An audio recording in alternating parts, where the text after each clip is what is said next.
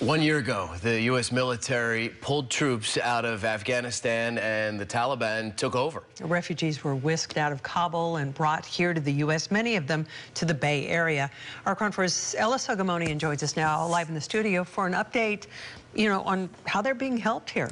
Yeah, I can't imagine that it's easy to say the least. Resettling can be unsettling, I should say. So many nonprofits have stepped in to help out right here in the Bay Area.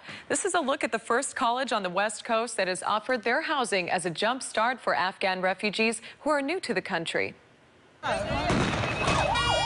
This time last year, the Taliban took control of Afghanistan, and people who worked with American companies or the military became targets. So, a U.S. program called Operation Allies Welcome has helped relocate Afghan refugees to the United States and provide them transitional housing.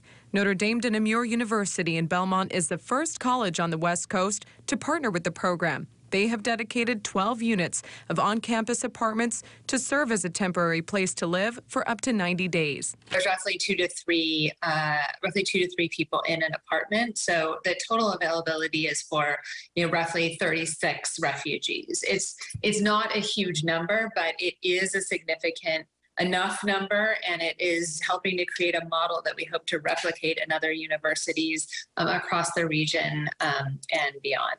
A mother and her 21 year old daughter named Marmar Hakim were part of the first group of visa recipients who benefited from the program. They lived on campus between May and July of this year. Hakim says she enjoyed the calm environment and access to the library. They have since moved to the East Bay where she is attending college and has plans to become a dentist.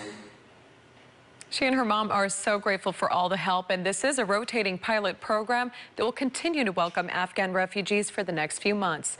In the studio, I'm Ella Sogomonian, KRON 4 News.